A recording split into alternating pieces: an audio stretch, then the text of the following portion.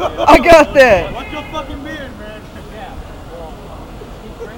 I got it. I got it.